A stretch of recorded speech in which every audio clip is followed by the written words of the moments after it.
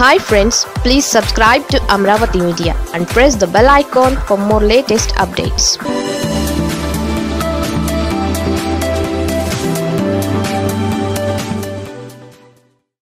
ఈ ఎంఎస్ఎంఈలను ఆదుకునేందుకు అదే రకంగా స్పిన్నింగ్ మిల్స్కి సంబంధించిన కంపెనీస్ని కూడా ఆదుకునేందుకు ఈరోజు ఒక గొప్ప కార్యక్రమానికి శ్రీకారం చుడతా ఉన్నాం. తమకు తాము శ్రమ చేస్తూ మరో పది మందికి ఉద్యోగాలు సైతం కల్పించే కార్యక్రమాలు ఏదైతే ఈ ఎంఎస్ఎంఈలు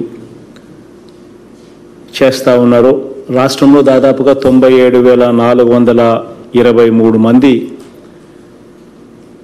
ఈ దిశగా అడుగులు వేస్తూ తాము చిన్న చిన్న పరిశ్రమలు పెట్టడమే కాకుండా ఈ తొంభై ఏడు వేల నాలుగు వందల ఇరవై మూడు మంది ఈ ఎంఎస్ఎంఈలు పెట్టడమే కాకుండా వీళ్ళి వీరి ద్వారా మరో పది లక్షల మందికి ఉద్యోగ అవకాశాలను కూడా కల్పిస్తూ ఉన్నారు.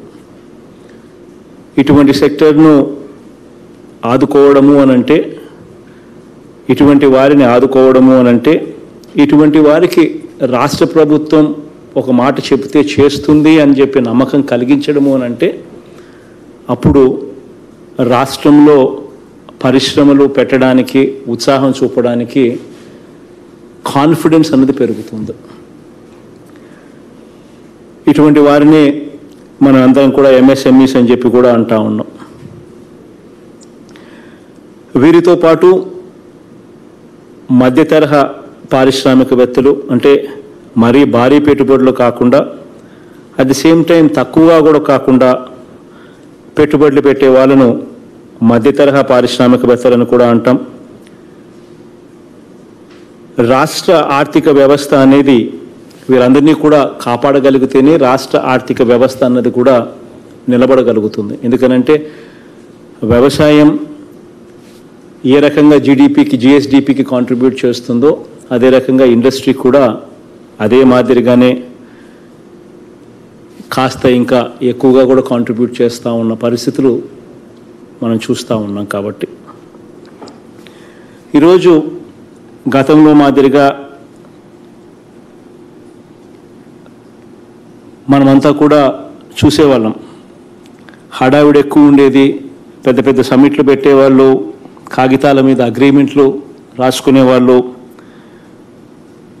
అక్కడ రోజుకొక ఆ రోజుల్లో మీడియా కూడా బాగా పోలరైజ్డ్గా ఆ రోజు ఉంది ఈ రోజు ఉంది అన్ఫార్చునేట్లీ అక్కడ ఏమి జరగక ముందుపే మైక్రోసాఫ్ట్ వచ్చేసింది అని ఒక రోజు రాసేస్తారు. ఎయిర్ బస్ వచ్చేసింది అని మరో రోజు రాస్తా ఉన్న పరిస్థితులు. బుల్లెట్ ట్రైన్ వచ్చేసింది అని చెప్పి ఇంకొక రోజు హెడ్లైన్స్లో చూస్తూ ఉన్న వార్తలు. ఇలాంటి మీడియా హడావిడిలు కూడా ఏమీ రాకపోయినా ఏమీ జరగకపోయినా కూడా గతంలో బాగా కనిపించే పరిస్థితి కనిపి చూసాం. ఇటువంటి పరిస్థితులన్నీ కూడా పక్కన పెట్టి ప్రజలను ఎటువంటి మభ్య మభ్యపెట్టడం చేసే కార్యక్రమం జరగకుండా చేయకుండా నిజంగానే పరిశ్రమలు తీసుకొచ్చేదానికి చిత్తశుద్ధితో అడుగులు వేస్తూ ఉన్న ప్రభుత్వం మనది.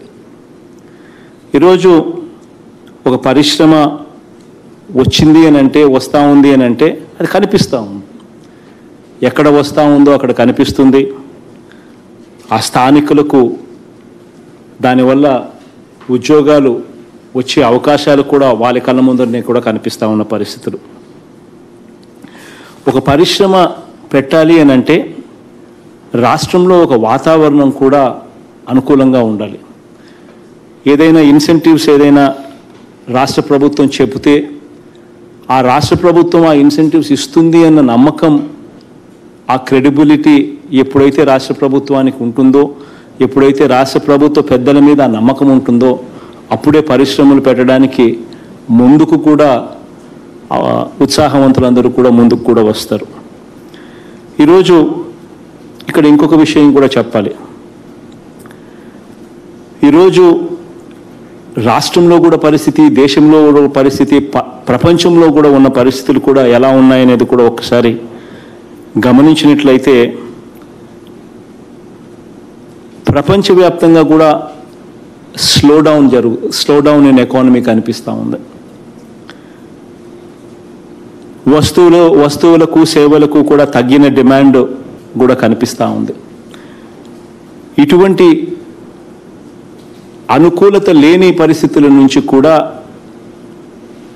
ఒకవైపున ప్రజలను కాపాడుకోవాలి డిమాండ్ ఒకవైపున తగ్గకుండా వాళ్ళని ఎంపవర్ చేస్తూ ప్రజలను ఒకవైపున కాపాడుకుంటూ మరోవైపున పరిశ్రమలను కూడా నిలబెట్టే కార్యక్రమం కూడా చేయాల్సిన అవసరం ఉన్న పరిస్థితులు ఇవాళ మనకున్నాయి.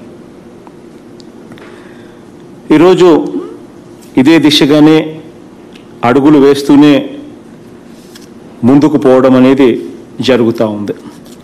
ఇందులో భాగంగానే పరిశ్రమలు క్రియేట్ చేస్తే ఆ పరిశ్రమల నుంచి ఉత్పత్తి అయ్యే వస్తువులను కొనే కొనుగోలు శక్తి కూడా ప్రజలకు ఉన్నప్పుడే ప్రజలకు అది లభ్యంగా లభ్యమైనప్పుడే అప్పుడే పరిశ్రమలు కూడా నిలబడతాయి.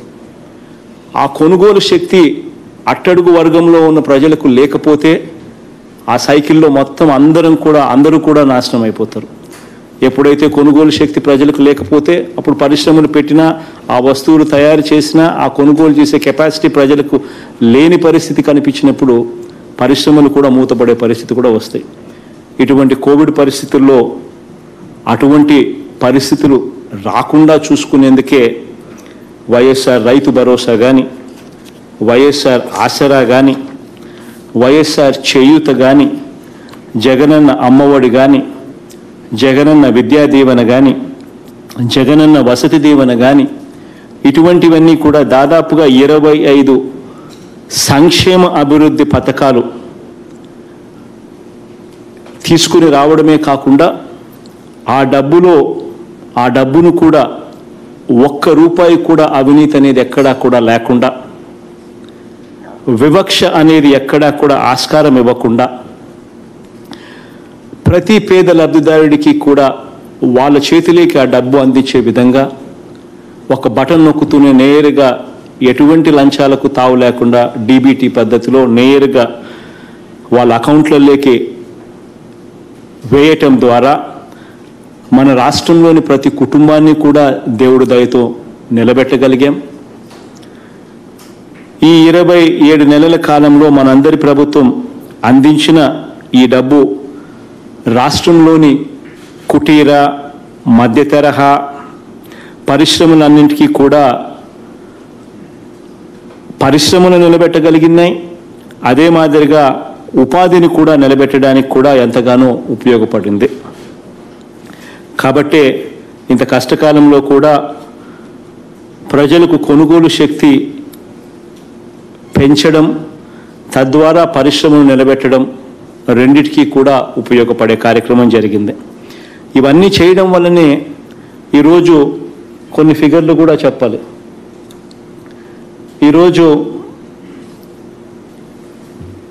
ప్రపంచవ్యాప్తంగా ఆర్థిక మాధ్యం ఉన్నా కూడా ఇదే సమయంలో ప్రపంచ ఆర్థిక వ్యవస్థలో కూడా దాదాపుగా మైనస్ ఫైవ్ పాయింట్ టూ శాతం growth rate minus growth rate ప్రపంచవ్యాప్తంగా ఉన్న ఈ సమయంలో కూడా మన రాష్ట్రంలో అలాంటి వెనుకబాటుకు ఆస్కారం ఇవ్వకుండా మన రైతును మన పరిశ్రమను మన పేద సామాజిక వర్గాలను మన రాష్ట్రంలో మనం నిలబెట్టుకోగలిగాం. చిన్న గ్రోత్ రేట్ అయినప్పటికీ కూడా ఎంతో గంత మిగతా వాళ్ళంతా మైనస్లో ఉన్నా మనం ఎంతో గంత పాజిటివ్గానే అడుగులు ముందుకు వేయగలిగాం. ఇలాంటి కష్టకాలంలో కూడా పేదల చేతికి ప్రభుత్వం అప్పో సప్పో చేసైనా సరే అందించిన ఆ డబ్బే ఒక రాష్ట్రానికైనా ఒక దేశానికైనా సంజీవిని అవుతుంది అని చెప్పి అంతర్జాతీయ స్థాయిలో కూడా ఆర్థికవేత్తలంతా కూడా గట్టిగా చెబుతా ఉన్న సమయం కూడా ఇదే. ఇలాంటి పరిస్థితుల్లో మన రాష్ట్రంలో మన కర్మ కొద్దీ ఒక ఎల్లో మీడియా అంటే ఒక ఈనాడు ఒక ఆంధ్రజ్యోతి ఒక టీవీ ఫైవ్ మన కర్మ కొద్దీ ఉన్నాయి. వాళ్ళు ఒకవైపున ఇదే మాదిరిగా వీళ్ళను వీళ్ళను కొమ్ము కాస్తూ ఒక తెలుగుదేశం పార్టీ అనే ఒక ఒక అన్యాయమైన పార్టీ కూడా ఒక ఒకటి ఉండడం వాళ్ళు ఒక వైపున వీళ్ళంతా కూడా రాష్ట్రంలో ఇంత మంచి జరగడం అవసరం ఈ జరగడం కోసం అని చెప్పి దీని అభివృద్ధిని నిలబెట్టడం కోసం అని చెప్పి ప్రజలను కాపాడుకునేందుకు అప్పో సొప్పో తెచ్చే కార్యక్రమం కూడా చేస్తే దానిని కూడా వక్రీకరించి పెడదోన వక్రీకరించి దాన్ని కూడా నెగటివ్ లైమ్ లైట్లో నెగటివ్ లైట్లో చూపించే అధ్వానమైన పరిస్థితులు మన రాష్ట్రంలో మాత్రమే ఇవాళ కనిపిస్తూ ఉన్నాయి. పండ్లు పండే చెట్టు మీదనే రాళ్ళు పడతాయి అనే ఒక సామెత నేను గట్టిగా నమ్ముతాను. కాబట్టి వీళ్ళు ఏం చేసినా కూడా వీళ్ళు ఏ రకమైన డిమోటివేషన్ కార్యక్రమాలు చేసినా కూడా దేవుడి దయతో మంచి చేయాలనుకున్నాం మంచి ఖచ్చితంగా దేవుడి దయతో చేస్తామని చెప్పి సందర్భంగా తెలియజేస్తా ఉన్నాను.